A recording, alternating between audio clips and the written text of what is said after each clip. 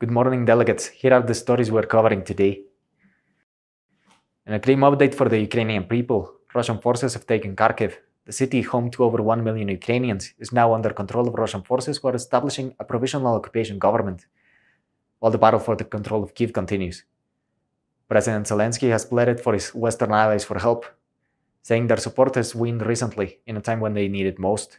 He says he fears he will soon be captured or killed unless Ukrainian forces have more resources.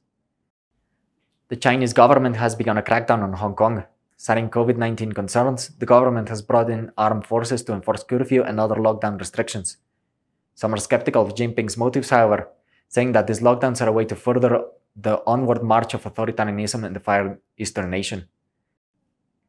In a more aggressive move, Chinese armed forces have begun mobilizing around Taiwan. Military officials say these are just routine exercises, but the citizens of Taiwan are becoming increasingly concerned as commercial Chinese boats are being escorted to shore by the Navy.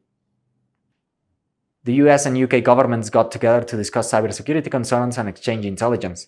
However, the talks between the allied nations do not seem to have gone over well. The United Kingdom has put out a press release debunking claims made by Chinese journalists, stating there is a strain on the relationship. However, sources close to the Johnson administration say this is damage control and that the tension between President Biden and their Prime Minister are at their highest. As talks between the two allies stall, so do approval ratings for both leaders, with recent polling showing them both on thin ice. The United States delegation in the UN committees have taken interesting positions, as some of them have explored lifting sanctions away from Iran. This has been a cause for suspicion in both the CSTD and the IAEA.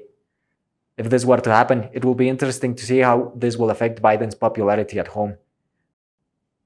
In the Security Council, ideas seem to be dominated by India, Russia, and Brazil, who have promoted the adoption of stronger domestic security measures. The USA and France have struggled to gain support in the committee, which proves dangerous for the permanent members' ambitions. Thank you for tuning in today, and that's the way the haggis boils.